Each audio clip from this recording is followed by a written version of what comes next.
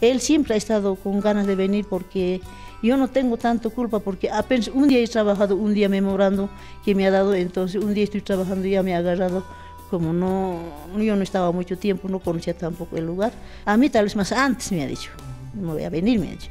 Pero no, ahora a los nueve se va a venir. Yo me voy a encontrar feliz viendo a mi hijo.